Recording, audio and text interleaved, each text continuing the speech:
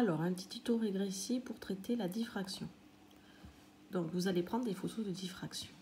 Vous pouvez très bien mesurer à la règle sur l'écran.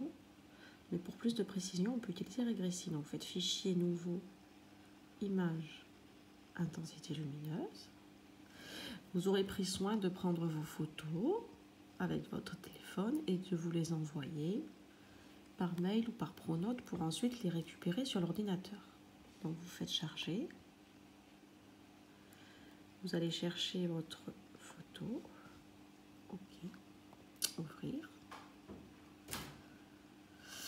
Donc ensuite, vous avez euh, une échelle ici. Donc le petit trait, c'est pas une échelle, pardon, c'est une ligne. Le petit trait, c'est l'origine, donc vous la mettez au centre de la tâche. là, c'est raté. Voilà, et ceci c'est pour définir l'inclinaison si votre photo n'est pas droite en fonction de la luminosité, de la place du laser, etc. Ensuite, ici j'ai tracé un trait qui représente l'échelle.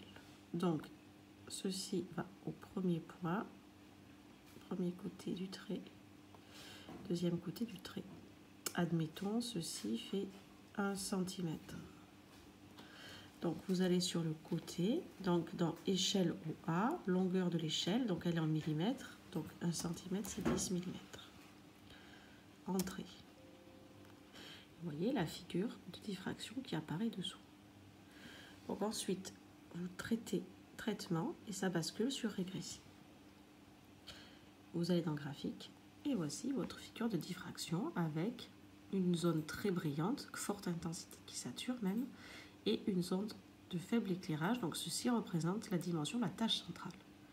Et donc ensuite, vous voyez la dimension des tâches d'ordre 1. Donc il vous suffit de prendre le réticule, outil, réticule libre, et donc vous pointez ici et ici. Et donc, comme de l'échelle, Régressif vous annonce que la, la largeur de la tâche centrale, c'est 25,7 mm. Après, vous pouvez vérifier que celle-ci, normalement, deux fois moins. Alors, qu'est-ce que j'ai fait? Je suis tac et tac. Ah ben, j'y arrive plus.